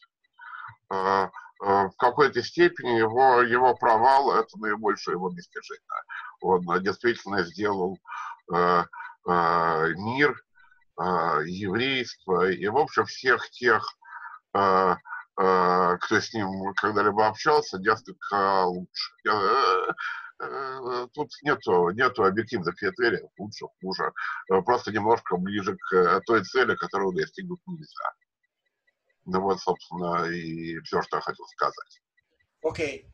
Спасибо огромное. Всем было дико интересно. Это огромная пища для размышления, да, тем, которые были внутри, тем, которые были Можно ему вопрос задать? потом. Илья, я... Сейчас э, Борис хотел задать вопрос. Я хотел вопрос задать. Скажите, вот я вас прослушал, но у меня такой возник э, вопрос из вашего выступления. Как будто бы Штензальц больше хотел, ну как бы вы говорили, соединить культуру современности с иудаизмом, да?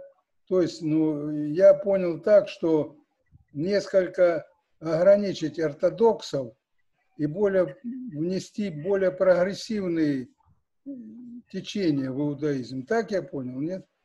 Вот ни в коем случае, просто даже, простите, но даже близко не так. А, Раф Штейнзальц, безусловно, был... Э, э, э, он очень любил слово «ортодокс». Это вообще слово, понятие, возникшее поздно, поздно и очень в малой степени определяющее религиозного еврея. Он был в какой-то степени идеалом религиозного еврея. Э, э, я думаю, что в значительно большей степени ортодоксом, опять же, в кавычках у меня сам термин, как и ему, довольно сильно неприятен. Э, но, в общем, идеалом, он был очень близок к идеалу религиозного еврея можно, ну, можно сказать так. И, кстати, вопрос, который мы уже задавали, себя он, безусловно, читал хасидом и, безусловно, хасидом был. Э, таким вот настоящим хасидом. Такие люди, от него я как раз не слышал, такие люди обычно называют себя хасидами Балшемтова, основателем хасидизма. Э, э, Рэба, которого нету и быть не может. при всех его близких отношениях с э, Любельштиком Рэбе, э, э, он не был его хасидом, на самом деле, он был его собеседником. А, а, и хотел вовсе даже не привнести, не ослабить ортодоксию или привнести э, э, э, новые веяния. Он считал, что э, религиозное еврейство, э, как некоторый феномен, и бытие религиозного еврея, это и есть объединение еврейского и общечеловеческого. Он хотел сделать евреев не менее еврейскими, а более. Вот именно такими, каким он еврейского видит. Более можно по-разному. А, совершенно не стремился, никаким образом э, не стремился ослабить ортодоксию. Он хотел ее наполнить смыслом, которого, как ему казалось, она во многом лишается. Каждый раз лишается заново, но все же лишается. Окей. Okay. Э, очень интересно, Борис, мы просто не можем сейчас как бы превращать в философские дискуссии, да, но спасибо вам большое. Вы спросили, Иглом отбил, замечательно. Сейчас Илья еще одну... А я, а я продолжу отбивать. Да, я, я только хочу одну, одну маленькую вещь спросить. Есть ли среди нас люди, которые учились в Кунцевской Ишире, которые хотят сказать два слова, потому что этой темы не было? Шлома, ты, по-моему, учился в Кунцевской Ишире, нет? Мы тебя не слышим. Я учился в Ишиве два года. Микрофон. Только не в Кунцевской, а вот на профсоюзной в основном. Ну да, я жил на профсоюзной 97, но к тому времени я уже уехал оттуда. Окей. Я, ну, я учился на всех этапах э, в этой Ишиве, но есть люди, конечно, которые больше меня там учились, но не, неважно. Не больше, но просто чтобы беседа... Неважно, если кто-то хочет сказать, я очень бы хотел тоже что-то услышать. Но если можно, я хочу нет не, такая вот такой возможность, чтобы Игум сказала, я, не, меня не вызывало очень сильного желания возразить, но он, правда, сам себе возразил в конце. вот. Э, я хотел коснуться этой темы, проблем неудачи Рава Штензальца. Э, э, дело в том, что э, э, э, в какой степени внешне это выглядит как неудача. Но мне кажется, что это огромная совершенно удача, и у меня такое неожиданное впечатление, вот опять я очень надеюсь также на реакцию в том числе и Гома, потому что мне кажется, он поймет сейчас, о чем я скажу. У меня такое впечатление, это как-то даже странно говорить через три, через четыре дня после его ухода, то, что произошло вот несколько дней назад, и тем не менее я это почувствовал, я как раз не хасид, наверное, вот, но я почувствовал, э, вот как мир изменился немножко, а, в том отношении, что раб Шалиндач как бы и ушел, и одновременно пришел. И такое же впечатление у меня э, было странным образом от другого нашего общего с Егломом друга, сказать, учителя, нельзя назвать это, э, Хавера, э, старшего товарища, единомышленника, это Шлома Карлибаха, э, значит, э, которым я общался очень-очень много, и э, я понимал, конечно, прекрасно, что он великий человек, все прочее, но только когда он ушел из этого мира, э, открылись э, каналы, какие-то возможности для того, чтобы его, э, его вклад, его душа, его влияние стало по-настоящему свободно распространяться. В некотором роде Карлибах был сам помехой для своего собственного влияния, для собственного, по крайней мере, так было последние там, 10-20 лет его жизни со Штейнзальцем, похоже, была очень похожа, э, похожая ситуация, что Штейнзальц раскрывал некие пути, э, и я э, это скажу, я его видел и в Израиле, и в, очень много в СНГ, и в Америке. Собственно говоря, он действительно открыл очень важные, очень существенные пути, но в какой-то момент он становился сам в какой-то степени препятствием для реализации этих путей. Почему так? Это очень сложный разговор. Э, потому что по очень многим причинам я говорю, что он, он был человек очень язвительный, он иногда очень любил потировать публику. Э, мне несколько раз приходилось в крайне неловких ситуациях с ним оказываться. Он от этого ловил большой кайф. Э, вот, и делал это абсолютно по делу.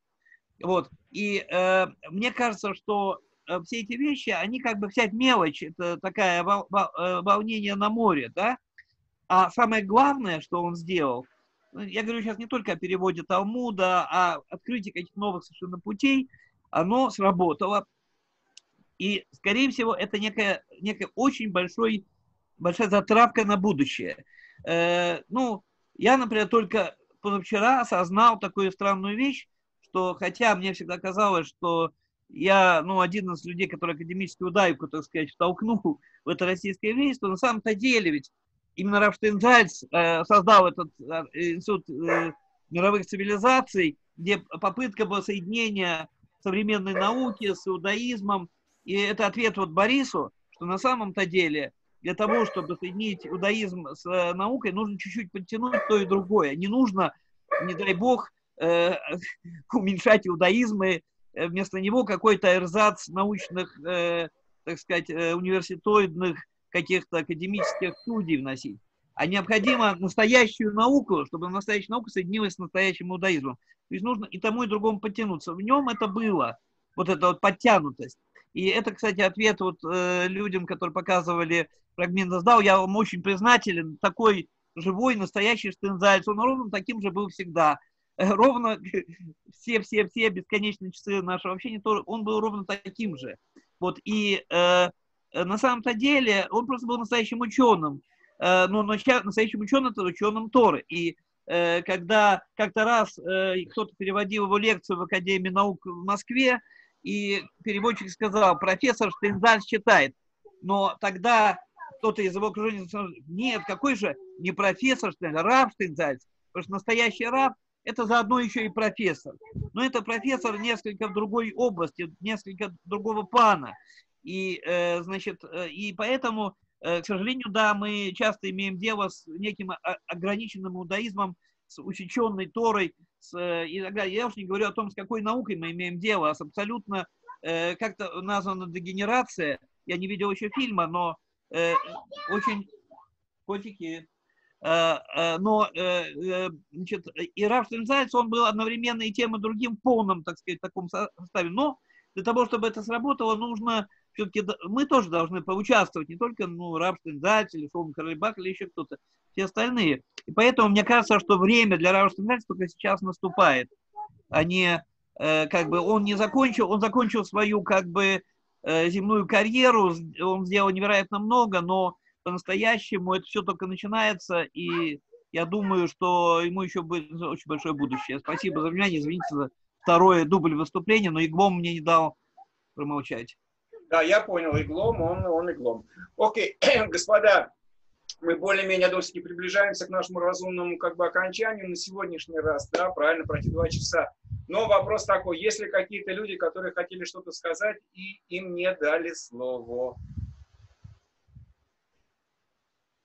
Э, я как бы его не просила, но э, просто э, я участвовала в эпизоде, про который наверняка никто не знает, это Хай. В, этом, Хай, в это время все ты? были в Кунцевской шире. Скажи, кто ты? Да.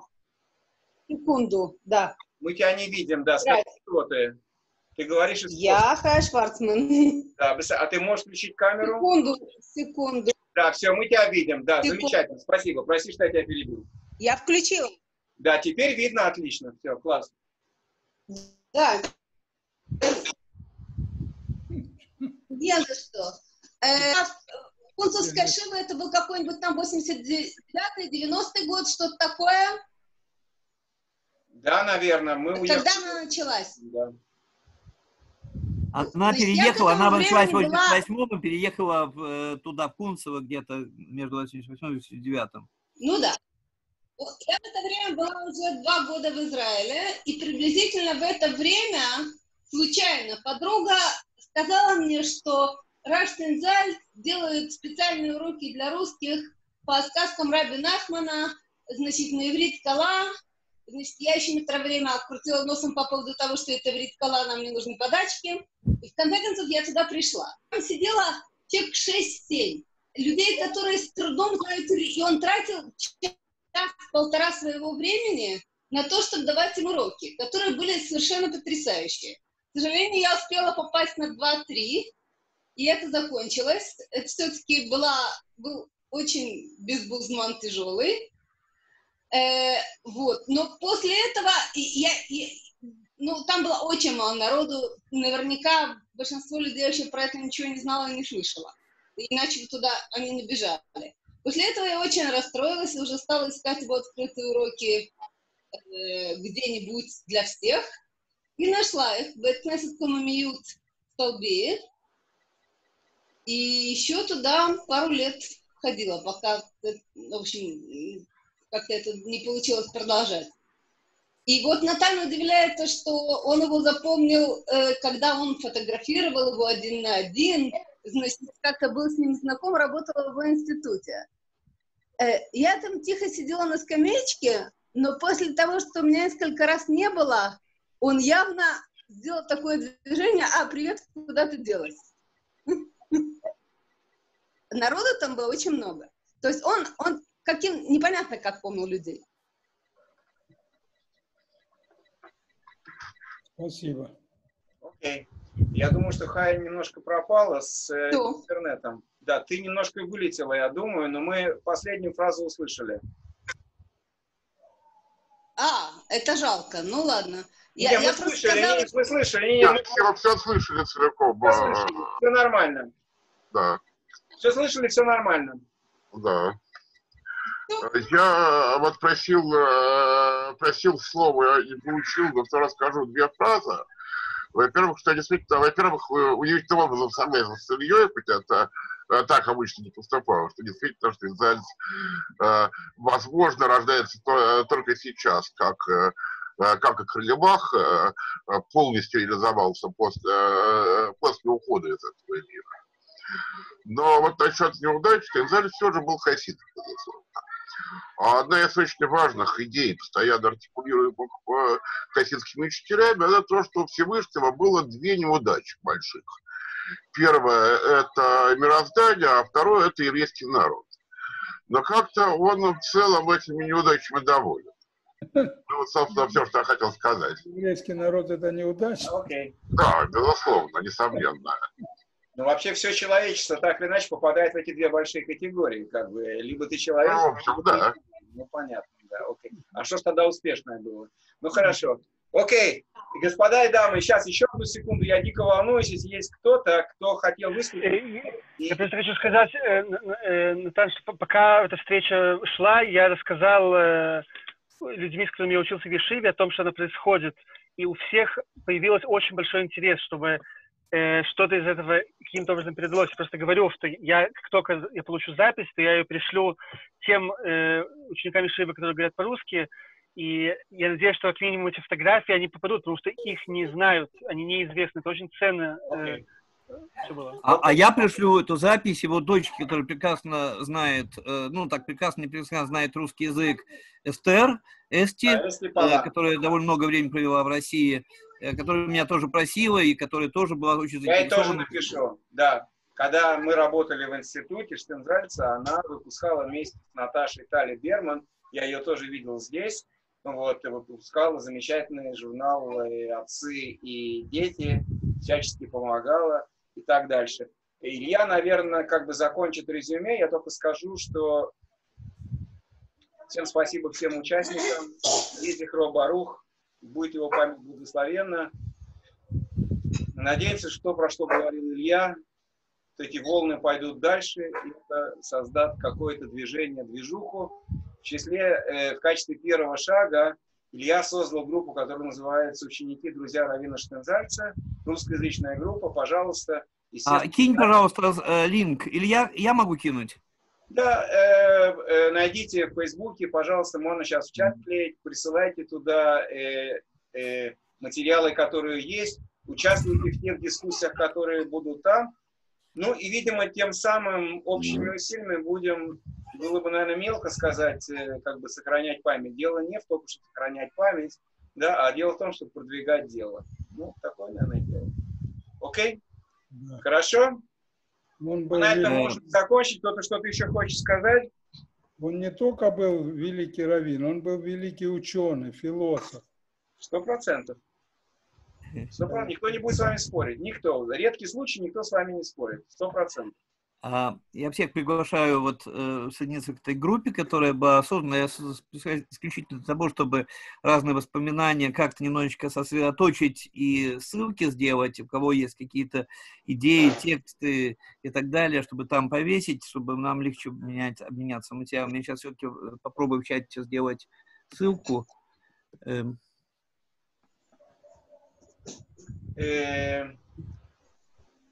Окей, пока Илья вклеивает ссылку, как бы я, поскольку случайным образом попал здесь на роль руководителя, да, подвожу некоторый итог, говорю, как это принято, рак Басмахот, да, теперь у нас э, причины для таких интересных обсуждений более веселые, можно сказать, менее трагичные.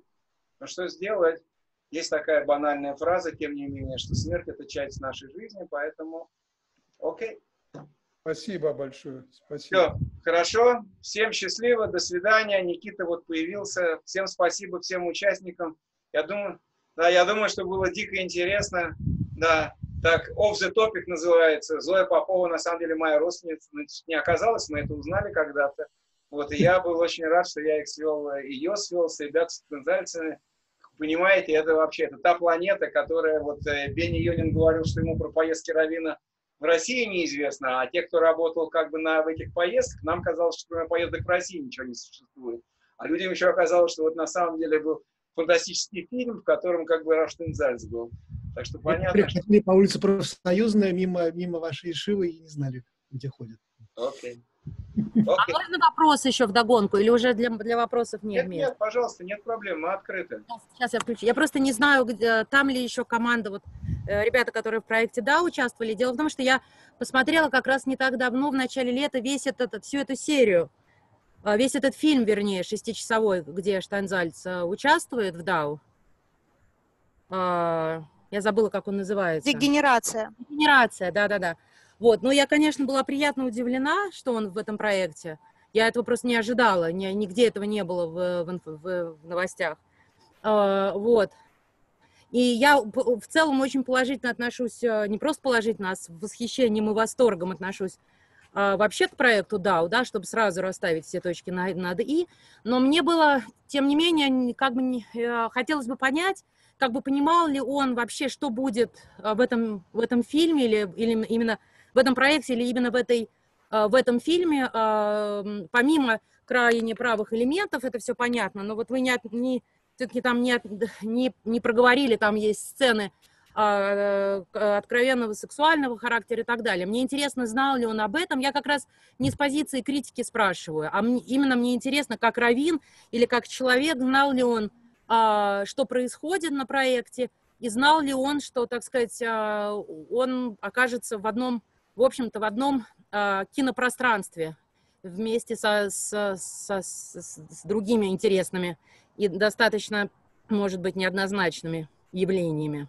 Да, безусловно, когда мы приглашали э, участников э, в проект, мы были с ними всегда открыты и говорили о том, а, какие еще участники там а, есть и как это все устроено. И а, в частности говорили о том, что нет сценария, что люди существуют в предлагаемых обстоятельствах, но реагируют в этих обстоятельствах так, как они сами выбирают, и все является не имитированным, и в частности там, э, сексуальные сцены и так далее. И что касается вот э, наверное, самого такого яркого какого-то, может быть, впечатления и вопроса, э, это действительно участие Максима Марцинкевича по прозвищу Тесак, которое произошло после э, того, как э, Раф э, был э, на съемках,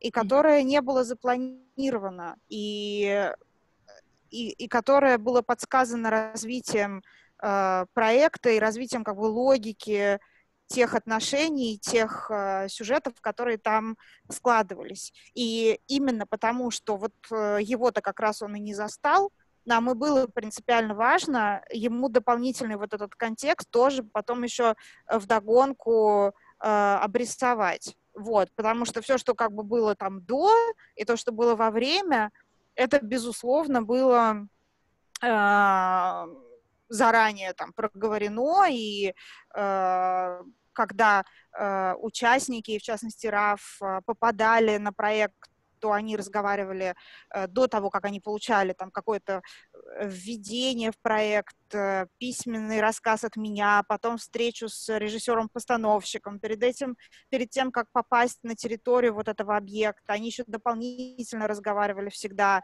с режиссером-постановщиком и получали подробный рассказ. Вот. У нас тут есть вот еще два участника, Никита и Дмитрий Каледин, которые были в кадре. И я думаю, что они, они могут, например, э, это подтвердить. Вот.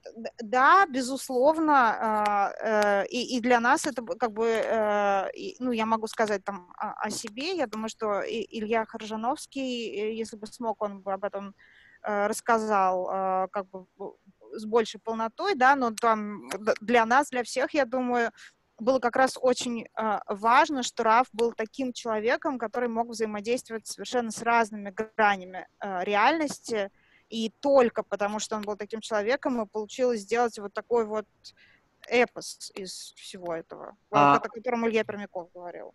Спасибо. Если Спасибо. можно, а, если можно, я хочу просто еще раз, третье, вмешаться значит, э, э, поскольку я хорошо представляю себе, ну, немножечко про проект DAO это отдельная история, и приветствую Илью Пермякова, по крайней мере, с которым я по телефону много общался. Дело в том, что Талмуд, Рав Шендрайс прокомментировал Талмуд от начала и до конца. Я вас уверяю, что в Талмуде есть сцены не только что сексуальные, и что там есть свои, так сказать, тесаки и свои э, самые разнообразные фигуры, которые, с которыми, может быть, не всегда приятно Э, пересекаться в одном пространстве. Э, для, э, и вот сейчас мне пришел в голову, что ваш проект, он чуть-чуть тоже имеет что-то общее с Талмудом. Я имею в виду самые разные ситуации, которые потом собираются в какое-то единое, единое пространство, единый комплекс, и э, э, которое пространство принципиально открытое, потому что Талмуд это абсолютно недописанная, открытая книга.